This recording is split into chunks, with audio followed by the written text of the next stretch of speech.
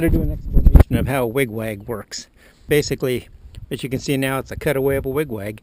I took everything off. I've been working on this one. I picked it up a couple days ago and it didn't work. And uh, had to do some repairs on it. some of the wires were missing on it. Um, the bell didn't work. The rubber bumpers here were gone. And uh, a few other things. It was all gummed up and full of cobwebs and rust and crap. And it hadn't been oiled since, I don't know, probably 1960 because that was the date that was on it. Anyways, the way a wigwag works is this. You put power here, your negative there. It takes the power and it runs it first. Uh, this gives it, it's a capacitor, it gives it a little bit of a, of a charge, a jolt to get it to go. And then what happens is the, power uh, goes um, up through here and into the swing arm and then as this moves it touches these contacts. When it hits the contact it energizes the magnet. There's a magnet on this side and there's a magnet on this side. When the magnet gets energized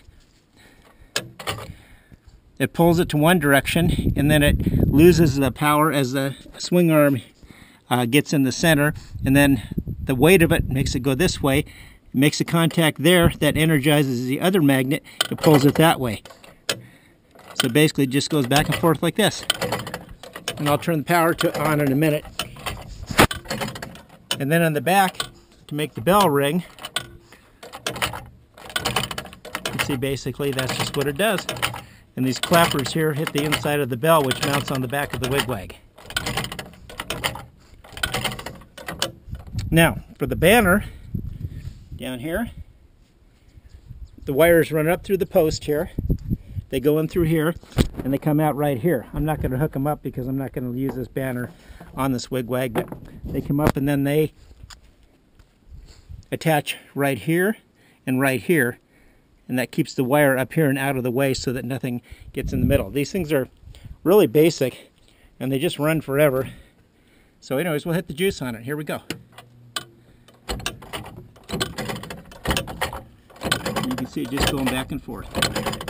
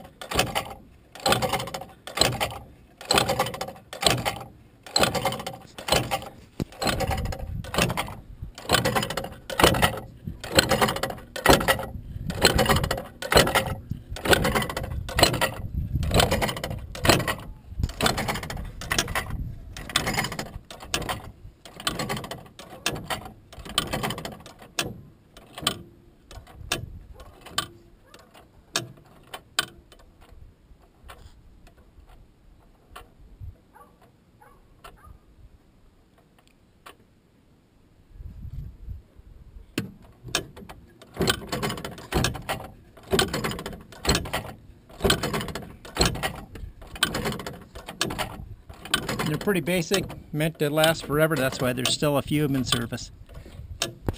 That's it. Now you know how wigwag works.